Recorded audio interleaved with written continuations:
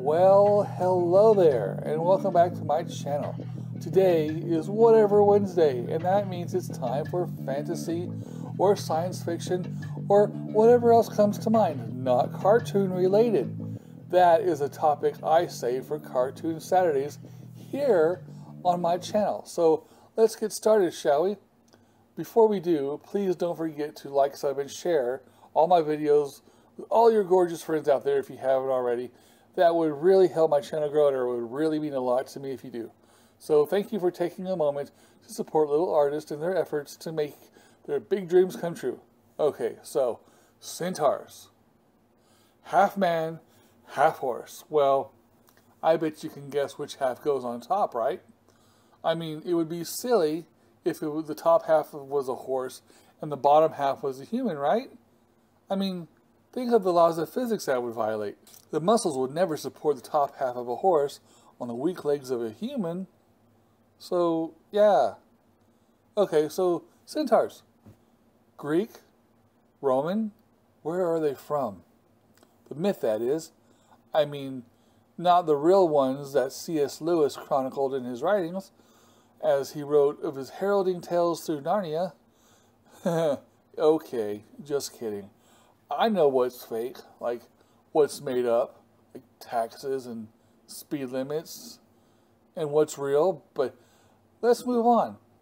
Centaur first originated with the Greeks, with the obscure word kentaros. The centaur were usually said to have been born to Ixion and Nephele. Sorry if I mispronounced those Greek words, but I didn't learn Greek in school. In an attempt to reveal some dark secret of lust, and then the centaurs were born. In, the, in other versions, they were the children of a man named Centaurus, who was a son of the aforementioned couple, or the heir of Apollo and a nymph named Cybele.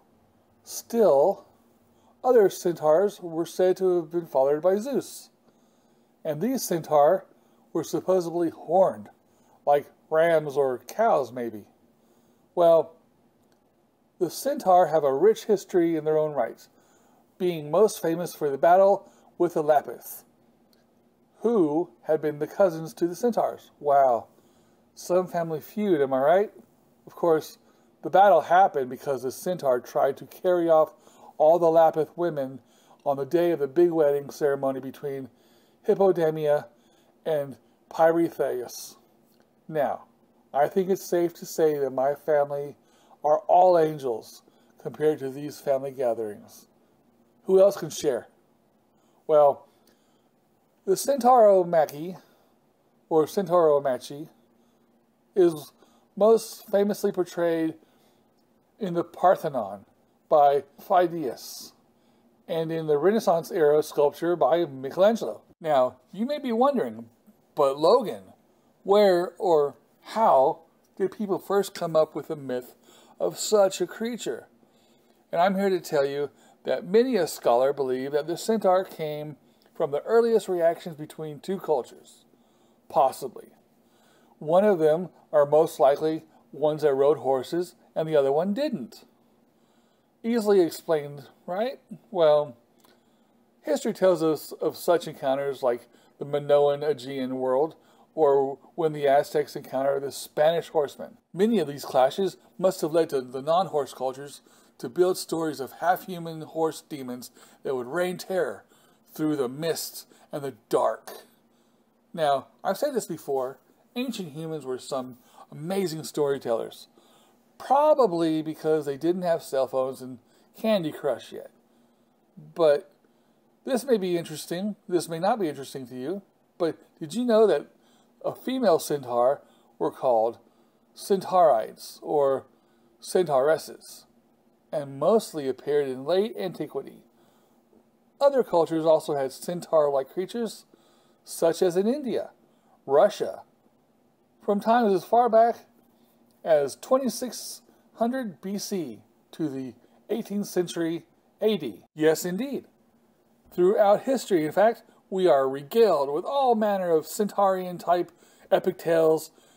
They have just served all kinds of purposes from in even in medieval literature where they were heavily used in heraldry and well, pretty much any other areas, but they were they were as with most Roman and Greek iconic character types, used often to tell morals or instill fear of dark places or encouraged valor and many other virtues to the learning ear of who would hear the epic ballads from the sage old scholars and teachers who were there to teach them whatever lessons the day held in store, much like Aesop's fables in later years.